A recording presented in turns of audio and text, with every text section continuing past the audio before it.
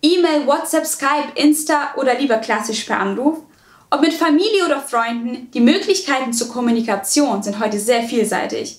Dasselbe gilt aber auch für die Kommunikation innerhalb des Unternehmens. Durch die Digitalisierung hat sich die interne Kommunikation enorm verändert.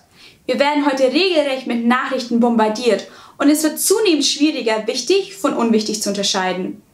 Wir können es mittlerweile den Mitarbeitern auch gar nicht mehr übel nehmen, wenn die ein oder andere Nachricht sie gar nicht mehr erreicht.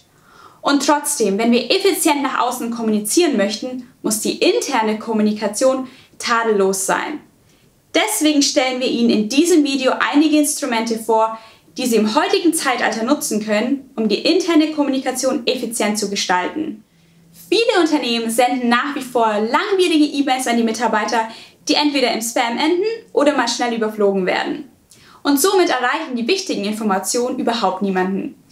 Deswegen ist es wichtig, die interne Kommunikation auf eine möglichst fesselnde Art und Weise zu gestalten. Und dafür eignet sich Videocontent sehr gut. Wir haben bereits in unserem Visual Storytelling Post erwähnt, dass visuelle Inhalte viel besser von Menschen verarbeitet werden und auch viel besser im Langzeitgedächtnis abgespeichert als textbasierte Inhalte. Und genau das sollte man in der internen Kommunikation auch ausnutzen. Außerdem lassen sich in einem Video auch trockene Fakten mit einer Prise Humor kombinieren und werden somit von allen lieber angeschaut. Es muss auch nicht die gesamte Unternehmenskommunikation in Szene gesetzt werden. Ganz und gar nicht. Selbst wenn der Chef mal schnell zum Smartphone greift und ein Update als Video abfilmt, wird es schon für mehr Resonanz sorgen und auch Abwechslung in die Unternehmenskommunikation bringen. Wir kennen sie alle. Unsere heiß begehrten Emojis. Sie machen jede Nachricht ein wenig authentischer und helfen uns, Emotionen zum Ausdruck zu bringen. Im Berufsleben dagegen verzichten wir meistens bewusst auf Emojis, um auf professioneller Ebene sachlich zu bleiben. So zumindest die starre Denkweise. Aber warum eigentlich? Warum muss jede berufliche Konversation auf enormer Distanz ablaufen? Gerade in der internen Kommunikation können Emojis ein wenig Pep in die Konversation bringen. Das heißt natürlich nicht, dass jetzt jede Nachricht oder jede E-Mail dem Monolog einer Drama Queen ähneln soll mit tausenden Emojis, aber ein klein wenig Emojis können Sie durchaus in die interne Kommunikation integrieren. Punkt Nummer 3, Gamification. Unter Gamification versteht man die Verwendung von spielerischen Elementen in einem nicht spielerischen Kontext. Es geht darum, die Spieltheorie auf die Mitarbeiterkommunikation zu übertragen und somit deren Interaktion zu fördern. Kurz gesagt, aus Langeweile und Komplexität werde Interaktion und ganz viel Spaß. Das kann man bereits durch einfache, simple Formen erreichen, wie zum Beispiel ein Quiz. Das Einbauen von spielerischen Elementen in die Unternehmenskommunikation hilft es aber, trockene Fakten in unterhaltsame Erlebnisse zu verwandeln und somit auch viel besser im Bewusstsein der Mitarbeiter zu verankern. Information schnell und präzise an die Mitarbeiter zu übermitteln, ist heute enorm wichtig, denn viel Zeit bleibt uns allen nicht mehr. Deswegen können auch in der internen Kommunikation Chatbots und künstliche Intelligenz behilflich sein. Einsatzbereiche hierfür wären zum Beispiel die Navigation durch komplexe Themen, Beantwortung standardisierter Fragen beim Onboarding-Prozess oder auch die Unterstützung beim Bewerbungsprozess.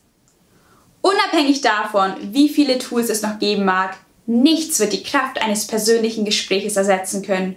Und Sie sollten selbst im digitalen Zeitalter darauf nicht verzichten. Zuhören, sich austauschen und gegenseitig verstehen. Ein persönliches Gespräch schafft viel mehr Transparenz als jegliche geschriebene Nachricht, die sogar oft falsch gedeutet werden kann. Also niemals auf Face-to-Face-Kommunikation verzichten. Für welches Kommunikationstool sollten Sie sich nun entscheiden? Einfach blind nach allen zur Verfügung stehenden Mitteln zu greifen, wäre auch keine gute Strategie, denn so wird die Kommunikation oft chaotisch und unübersichtlich. Wichtig ist genau abzuwägen, welches Instrument zur eigenen Unternehmenskultur passt, denn nur so können Sie maximalen Erfolg erzielen. Achten Sie außerdem, dass das jeweilige Kommunikationstool ausschließlich für die Arbeit genutzt wird und somit auch gezielte Ruhezeiten erlaubt.